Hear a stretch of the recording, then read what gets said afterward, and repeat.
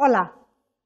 A continuación vamos a hablar de las alteraciones en el reloj eh, del tejido adiposo y su relación en humanos con la obesidad y el sueño. Es interesante que dentro de nuestros cultivos, cuando lo hacemos en nuestro grupo de investigación,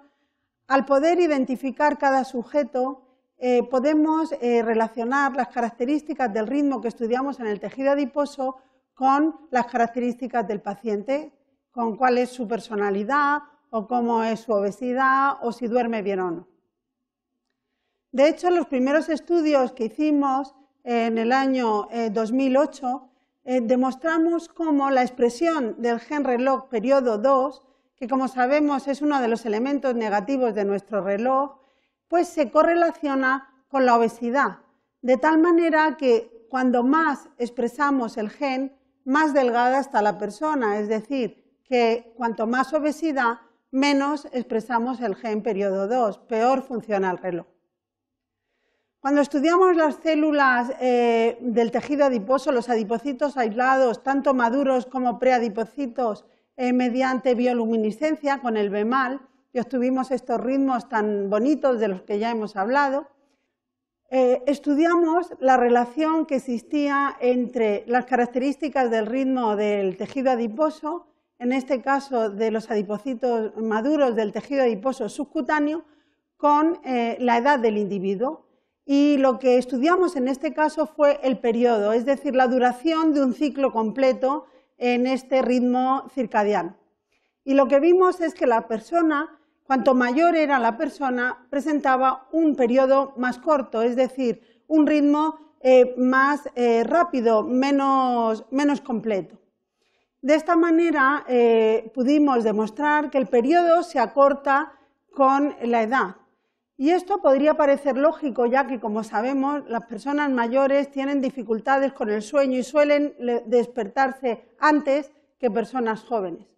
Sin embargo, estudios previos que se habían hecho en el laboratorio de Harvard del profesor Seisler, en el que se había estudiado el individuo y su núcleo supraquiasmático y en relación con el periodo, se había visto que con la edad no se producía ningún acortamiento del periodo del núcleo supraquiasmático. Sin embargo, nosotros y otros han visto que en tejidos periféricos sí que se produce un acortamiento de este periodo. ¿Cómo se puede coordinar estas dos eh, ideas? Bueno, pues podríamos decir que en los relojes periféricos, en este caso el tejido adiposo, al producirse un acortamiento del periodo, la hora que tenemos en ese tejido, por ejemplo, sería a la una. Sin embargo, el reloj central eh, no cambia de hora, luego sería, por ejemplo, a las tres de la tarde.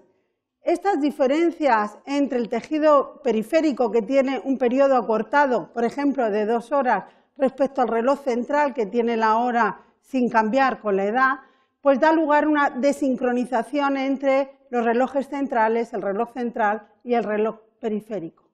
Y esta desincronización es lo que podría explicar las alteraciones y la cronodisrupción que tenemos en, la obesidad, perdón, con, con la edad y que muchas veces se traducen en una mayor obesidad, más tendencia a la obesidad con la edad. Y es que, además, pudimos comprobar que cuando estudiamos la amplitud de este ritmo por bioluminiscencia en tejido adiposo humano, también hablamos de adipocitos maduros en tejido adiposo subcutáneo y visceral, eh, se correlacionaba la amplitud, que es la altura de este ritmo en relación con el mesor, con la obesidad, de tal manera que la persona más obesa presentaba un ritmo aplanado de menor amplitud, lo que detecta o determina una peor salud circadiana.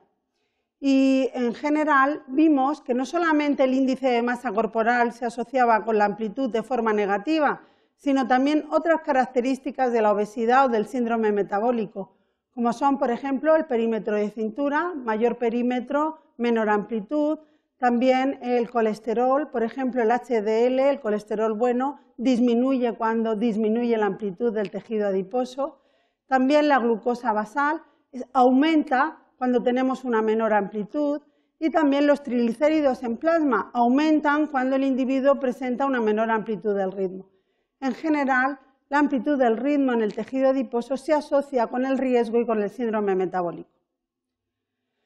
Cuando estudiamos el patrón de sensibilidad a la insulina del que hablamos ya en el módulo anterior, pues eh, como vimos tenía una acrofase sobre las 12 de la, de la mañana y tenía el menor ritmo por la noche. Bueno, pues nuestros estudios nos han permitido también estudiar o analizar la correlación entre esta sensibilidad o ritmos de sensibilidad a la insulina y las características del individuo. De tal manera que, como vemos en estas gráficas, eh, cuando el individuo se acuesta tarde, es decir, aquellas personas que, por ejemplo, se acuestan a las 2 de la mañana, 3 de la mañana, tienen una amplitud del ritmo menor. Si se acuestan pronto, por ejemplo, a las 8 o las 9 de la mañana, como se ve en esta figura, los individuos tienen una mayor amplitud del ritmo de sensibilidad a la insulina. Y de, la misma manera, dormir más se asocia con una mayor amplitud. Por ejemplo, las personas que dormían menos de 5 horas presentaban una, amplitud muy baja, mientras que aquellos que duermen más de 8 horas pues tienen una amplitud bien marcada y un ritmo de sensibilidad saludable. En definitiva, hemos hablado de cómo la expresión de determinados genes, como es el PER2, se correlaciona, perdón, se correlaciona negativamente con la obesidad, es decir, mayor obesidad, menos PER2, y también hemos estado viendo cómo las características de ritmos circadianos, por ejemplo, detectadas por bioluminiscencia, como es el periodo o como es la amplitud, se asocian con un mayor envejecimiento, o sea, mayor edad, menor periodo y mayor obesidad, eh, menor amplitud. Para ampliar información, como siempre, el libro Los relojes de tu vida. ¿Y qué estudiaremos en el próximo curso? Pues ya vamos a cambiar de módulo y ahora vamos a hablar de hora de la comida y cómo el horario al que tú comes va a influir en que estés obeso o no, o va a influir también en que tengas riesgo metabólico o el que pierdas más o menos peso cuando te pones a dieta.